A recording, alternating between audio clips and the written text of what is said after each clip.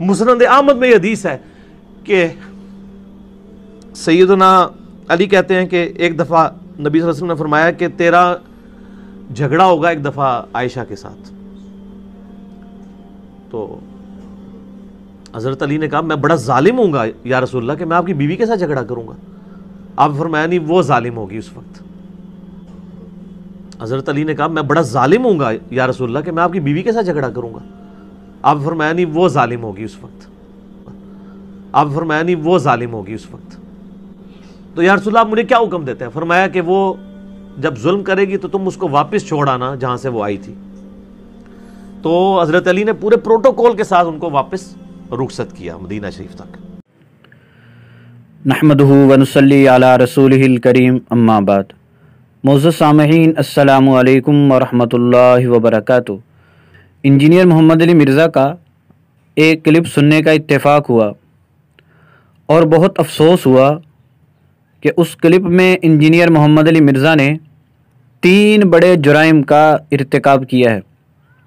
आपने इसकी वो वीडियो सुनी है। पहला इसने ये जुर्म किया है कि नबी पाक सल्लल्लाहु अलैहि वसल्लम की तरफ़ वो बात मंसूब की है जो आप सल्लल्लाहु अलैहि वसल्लम ने नहीं फरमाई।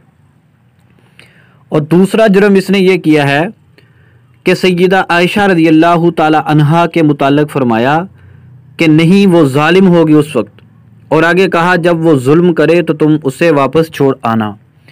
यानी इस ालिम इंसान ने सैदा आयशा रदी अल्लाह तहा को नाऊज़ बिल्ला ालिम करार दिया है।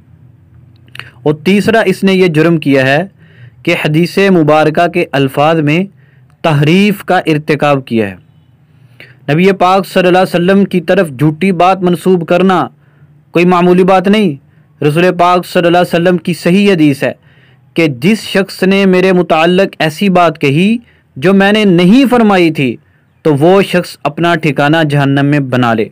तो चूँकि रसूल पाक सल्लल्लाहु अलैहि ने हज़रत अली रज़ी अल्लाह तहो से ये नहीं फरमाया था कि तू उस वक्त ालिम नहीं होगा, बल्कि उस वक्त वो ालिम होगी। और आपने ये भी नहीं फरमाया था कि जब वो जुल्म करे तो तुम उसे वापस छोड़ाना। इंजीनियर अली मिर्ज़ा ने इन अल्फाज को जो नबी पाक सल्लल्लाहु अलैहि वसल्लम ने नहीं फरमाए, नबी पाक सल्लल्लाहु अलैहि वसल्लम की तरफ़ मनसूब करके बदतरीन जुर्म का इरतकब किया है और अपने लिए ठिकाना इस रवायत की रूह से जहन्नम में बना लिया है। और दूसरा इसने मोमिनों की माँ अजीम औरत सैदा आयशा सिद्दीक़ा रदी अल्लाह तह की बदतरीन गुस्ताखी की है। उनको जालिम करार दिया है। इंजीनियर मोहम्मद अली मिर्ज़ा को चाहिए कि अपनी इस झूठी बात से सईदा आयशा रज़ी अल्लाह तहा पर लगाई गई तहमत से तोबा करे और इसने अपनी तरफ़ से हदीस पाक के अंदर अल्फाज गढ़ लिए हैं। हम इंजीनियर मिर्ज़ा जहलमी के चेलों से कहते हैं, तुम कहते हो कि वो हवाला देता है, हदीस का नंबर बयान करता है। और तुम्हें क्या पता, वो हदीस के नंबर बयान करने में कितने फ़रार से काम लेता है? ये आपके सामने मुसनद अहमद है। या आप उसकी अरबी देखें, शुरू से लेकर आखिर तक। इंजीनियर ने जो अल्फाज बयान किए, क्या वो उसमें मौजूद है?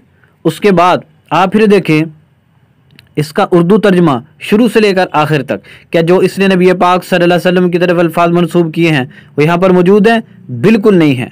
इसलिए हम कहते हैं, इंजीनियर मिर्ज़ा जहलमी के चेलों से, या तो तुम वो अल्फाज साबित करो, जो इंजीनियर ने कहे हैं, और या फिर तुम उसका दामन छोड़ दो, वरना हम समझेंगे कि जिस तरह वो मुजरिम है तुम भी उसकी अंधी तकलीद करके उस तरह के मुजरिम हो। हम हाल सुन्नत भाइयों से कहते हैं कि इंजीनियर मिर्ज़ा जहलम की ये वीडियो इसके हर चेले तक पहुंचाओ, ताकि उनको पता चले कि यह नबी पाक सल्लल्लाहु अलैहि वसल्लम पर झूठ बोलता है, सहाब कराम की गुस्ताखी करता है, हदीस पाक के अल्फाज में तहरीफ करता है और इसके हवारी अंधी तकलीद के तौर पर इसके पीछे लगे हुए हैं।